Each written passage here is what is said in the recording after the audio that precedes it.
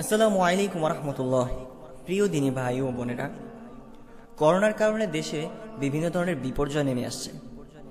এর মধ্যে উল্লেখযোগ্য হচ্ছে দ্রব্যমূল্য বৃদ্ধি হওয়া। আমরা ইতিমধ্যে জেনেছি যে কিছুদিন আগে মাস্কের দাম ন্যায্য মূল্য থেকে বাড়তি মূল্যে বিক্রয় করা হয়েছিল। তার পাশাপাশি নিত্য প্রয়োজনীয় যে জিনিসগুলো, যেমন বাজারের মধ্যে সবজি, চাল, গম, ডাল ইত্যাদির দাম বেড়েই যাচ্ছে। প্রিয় ব্যবসায়ীগণ, ধরেন আপনার মজুদ থাকা পণ্যগুলো এই সুযোগে উচ্চ মূল্যে বিক্রি করে কয়েক হাজার বা কয়েক লাখ টাকা লাভ করলেন। তারপর আরও মনে করেন, আল্লাহ না করুক করোনা ভাইরাস মহামারী আকার ধারণ করল এবং অনেকের মতো আপনিও তাতে আক্রান্ত হলেন। তারপর যদি মৃত্যুবরণ করেন, একবার ভেবে দেখেছেন কি? কি হবে? আপনার এই বাড়তি টাকাগুলো কবরে নিয়ে যেতে পারবেন? কবরে গিয়ে আল্লাহকে বলবেন, আমি মানুষের অসহায়ত্বের সুযোগ নিয়ে তাদের কাছে বেশি মূল্যে পণ্য বিক্রয় করে লাভবান হয়েছি। আর এর বিনিময়ে তিনি আপনাকে জান্নাত দিয়ে দিবেন, তাই না? নাকি এর উল্টোটা হবে? এবার অন্যভাবে ভেবে দেখুন তো। ধরেন, আপনি ন্যায্য মূল্যে পণ্য বিক্রি করলেন। আল্লাহ না করুক, করোনা ভাইরাসের কারণে অথবা অন্য যে কোনোভাবে আপনি মৃত্যুবরণ করলেন। এবার কি হবে? অথবা কবরে গিয়ে আল্লাহকে কি বলবেন? হ্যাঁ এবার আপনার বলার কিছু আছে।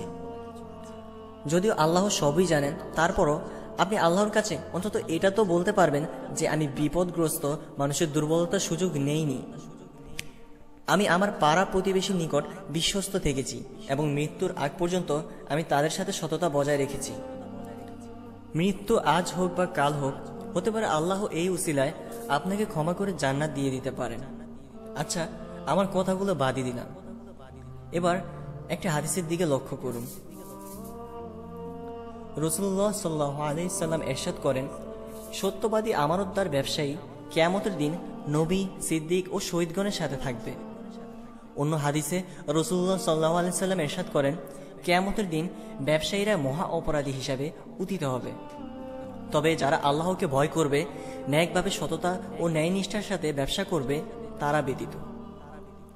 আর যদি সৎ না হন, তাহলে কি হবে? একটু ভেবে দেখবেন। আজ যে করোনা ভাইরাসের ভয়ে অসহায় মানুষের দুর্বলতার সুযোগ আপনি নিচ্ছেন, সেই করোনা ভাইরাস যদি কাল আপনার দুয়ারে মৃত্যুর দূত হয়ে হাজির হয়, তখন কি করবেন? সুতরাং, প্রিয় ব্যবসায়ী ভাইগণ, সাবধান হয়ে যান, সতর্ক হন এবং আল্লাহকে ভয় করুন।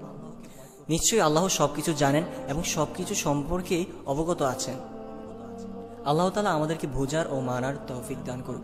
আমিন।